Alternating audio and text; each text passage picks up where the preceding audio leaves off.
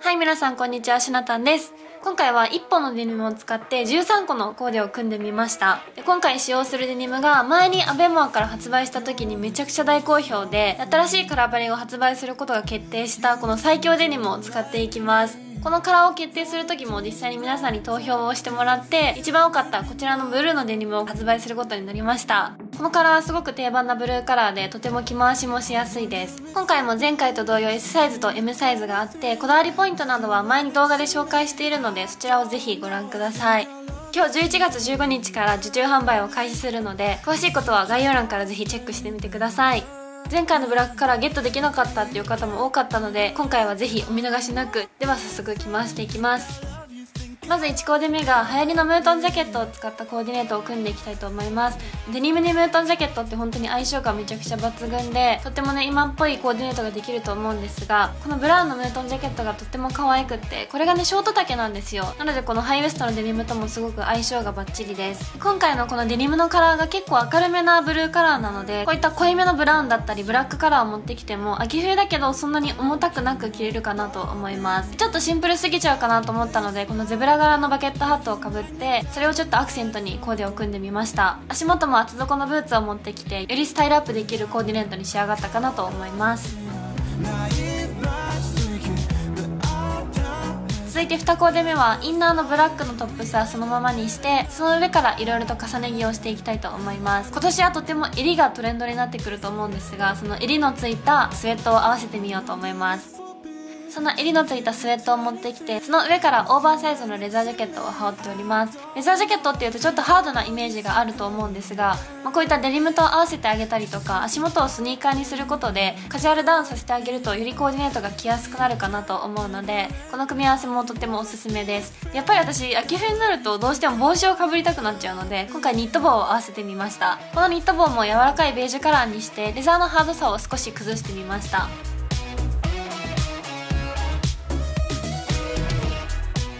では続いて3コーデ目組んでいきたいと思います。またインナーはそのまま使用していきます。3コーデ目はちょっとヴィンテージライクな感じのコーデを組んでみます。このスウェットもヴィンテージのスウェットなんですけど自分でねこれ切ったんですよショート丈に。やっぱりこのハイウエストのボトムスにはショート丈のトップスがとってもバランスよく着れると思うので割と今回ショート丈のトップスが多めになっています。1コーデ目にも使ったこのムートンジャケットを着回しているんですが小物とかを変えるだけでまたさっきと印象がガラッて変わってくるかなと思います。スウェットのネイビーカラーに合わせたキャップとアウターのブラウンカラーに合わせたウエスタンブーツででパンツもブーツインをしてちょっとシルエットに変化をつけているんですけどこのデニムがねめちゃくちゃ伸縮性があって柔らかいのでブーツインもとってもしやすいのでこういったスタイルが好きな方にもとてもおすすめなパンツになっております。私このコーデ結構好きなんですけどやっぱりデニムをブーツインするスタイルがトレンドだと思うのでとても可愛い今っぽいコーディネートに仕上がりました。では続いて4コーデ目組んでいきたいと思います。さっきのコーデとほとんどね変わらないんですけどアウターを変えてみました。このアターもねショート丈なんですけどこのブルゾンこれがねめちゃくちゃ可愛くって結構短めなのでこのパンツと合わせてもとてもバランスが良くめちゃくちゃ足も長く見えるコーディネートですね。でちょっと全体的に今地味なカラーというかちょっとくすんだカラーが多いかなと思ったのでバッグとこのシュシュにホワイトのカラーを持ってきてそこでちょっと明るさを出してみました。中身はさっきと変わっていないんですけどアウターと小物を変えるだけでもこんだけ違いが出るのでぜひ皆さんも挑戦してみてください。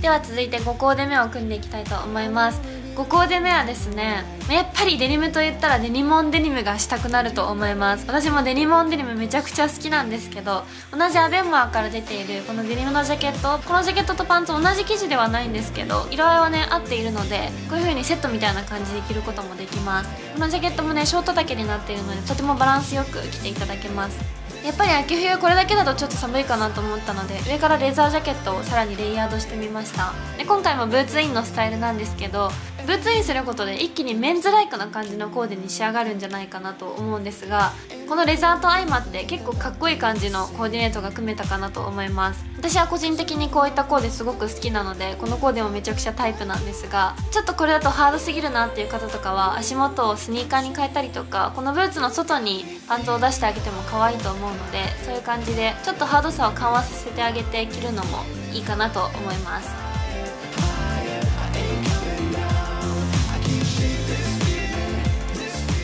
では続きまして6コーデ目を組んでいきます。さっきまではもうザ・カジュアルみたいな格好が多かったかなと思うんですけどこの6コーデ目はちょっときれいめな感じで合わせてみようかなと思います、まあ、でもデニムなのでそんなに綺麗すぎない感じで着れるかなとは思うんですがシューズにちょっとスラッとしたシルエットのヒールのあるブーツを持ってきてそこで女性らしさをプラスしています。トップスもタートルに変更して低めの位置でお団子にして全体的にスキリとした感じのシルエットにしています。まあ、ただちょっとタートルだったりとかピタッとしたものを着るのが抵抗あるっていう方はこういう感じでブルゾンとかをちょっと肩抜いてあげたりとかして着てあげてもすごく可愛いのででさっきこのブルゾンね裏で着てたんですけどこれリバーシブルになっていてボアの方を外側にして着てあげてもめちゃくちゃ可愛いしでボアを外側にした方がボリューム感がすごく出るのでこういったタートルとかと合わせた時も体型カバーが少しできるかなと思います。練馬はカジュアルだけじゃなくてこういったちょっときれいめな格好とかにも使えたりするので本当に万能なアイテムですよね。結構大人っぽいコーデが組めたかなと思います。では続いて7コーデ目を組んでいきます。7コーデ目は私が大好きなデニムにジャケットスタイルを作っていこうかなと思うんですけどジャケットにヒールスタイルもすごく可愛いんですがもっともっとカジュアルに着こなそうかなと思ってスニーカーを今回合わせました。さらにジャケットの上からダウンベストを羽織っているんですけどこの合わせも意外と可愛いですよね。ジャケットとダウンベストっていう真反対な感じのアイテムなんですけど合わせてみると意外と可愛かったのでこのコーデもとっても気に入ってます。上半身が結構ボリュームのあるシルエットなのでよりこのデニムのスラット感が目立ってとてもスタイルアップできるコーディネートになったかなと思います。髪の毛もねちょっとアップにしてすっきりとさせてみました。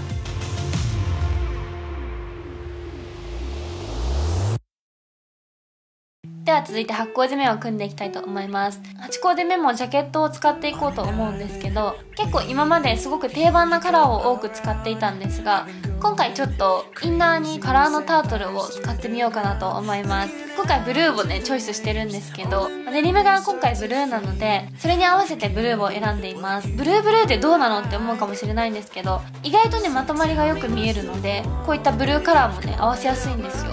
やっぱ秋冬の楽しみといったらレイヤードだと思うのでまたこのスウェットを重ねてあげて遊び心も出してみました。でアウターはジャケットで足元はウエスタンブーツでとても私好みなスタイルに仕上がったかなと思います。やっぱりカラーのアイテムが入るだけでよりおしゃれに見えると思うし、まあ、いつもモノトーンだったりとかが多い方でも雰囲気をガラッと変えられるかなと思うのでこういったカラーのアイテムを合わせるのもとてもおすすめです。ベージュカラーのジャケットとかパステル系のブルーカラーだったりとか全体的にちょっとやんわりとした感じのカラーが多かったので足元は濃いめのブラウンブーツを持ってきてそこで引き締めております。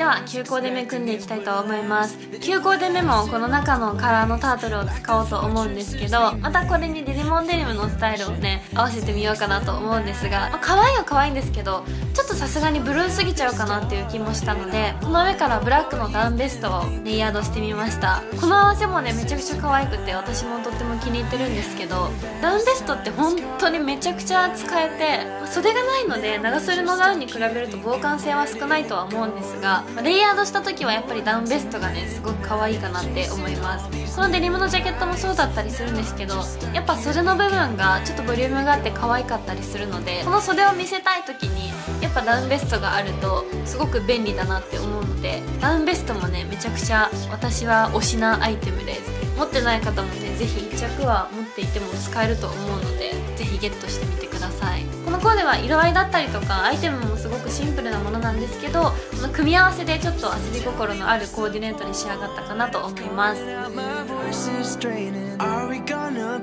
では続いて10コーデ目組んでいきましょう実行でメモまたこのカラーのタートル使っていこうと思うんですが個人的に私水色とブラウンの組み合わせがめちゃくちゃ可愛いなって思っているので前半の方で結構使っていたこのムートンジャケットブラウンのムートンジャケットをタートルに合わせてみました。可愛いですよねすごくこの色の組み合わせ。ムートンジャケット1個でもすごくメインになるアイテムだとは思うんですがメインになるからこそ他のアイテムをシンプルにね持っていきがちだと思うんですけどこういったカラーものとかを合わせてあげることで周りとちょっと差をつつけられたりとかとてもおしゃれに見えると思うのでこういうカラーものだったりとかを合わせてあげてもすごく可愛いと思います。シンプルなコーデもすごく好きなんですけどシンプルすぎちゃうとどうしてもなんか色々と小物を付け足したくなっちゃって今回もニット帽にメガネを合わせてちょっとガヤガヤとした感じに仕上がってるんですけど、まあ、色味はブラウンだったりとかでこのコーデに馴染みやすい色だと思うのでまあ、いろいろとアクセサリーつけてもそんなにごちゃっとしすぎない感じのコーデが組めたかなと思います。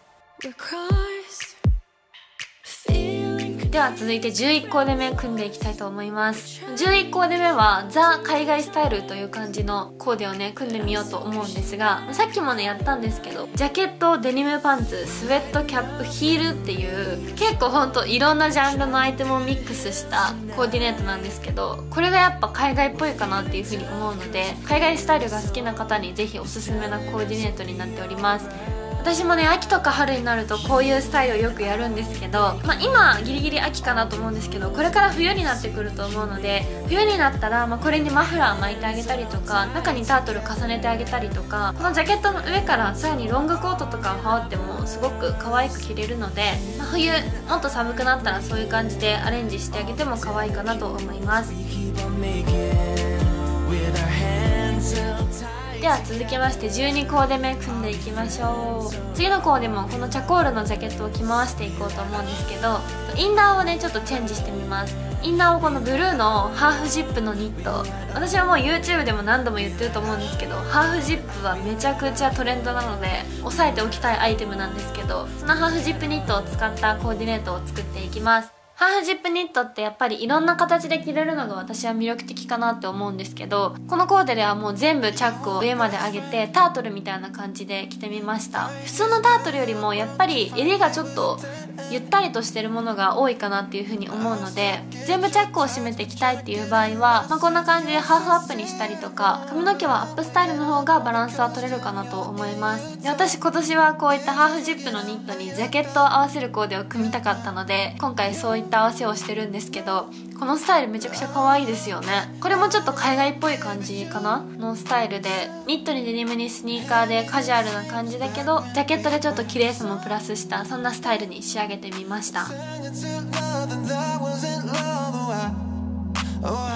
では続いてラストのコーディネートでございます。ハーフジップのニットを着回していきたいと思うんですがさっきはね全部チャックを閉めてたと思うんですけど次はちょっとだけ開けてあげて襟を作ってコーデを組んでみました。やっぱ襟を下ろしてきてあげるとさっきよりもねすっきりとした印象になるかなと思います。アウターはこのお気に入りのレザージャケットを持ってきたんですがせっかくこのハーフジップニットの襟が大きめに作られているのでこの襟をこんな感じでアウターの外側に持ってきてあげてもすごく可愛いです。さっきのコーデとより雰囲気を変えたかったので足元はブーツインのスタイルにしています。なんかちょっとコーデに着てほしいなっていう時とかはこういったブーツインスタイルがやっぱり簡単で可愛くなると思うので私もねよくこのスタイルやるんですけどやっぱりこのスタイル可愛いですよね。バッグは今回ニットのカラーに合わせてネイビー系のバッグを持ってよりまとまりのあるコーディネートに仕上げてみました。はいというわけでこんな感じで13コーデ以上でございます。本当に無限にコーデが組めるぐらいめちゃくちゃ着回しの効くデニムパンツになっているのでぜひぜひチェックしていただけたら嬉しいです。で今回受注販売なので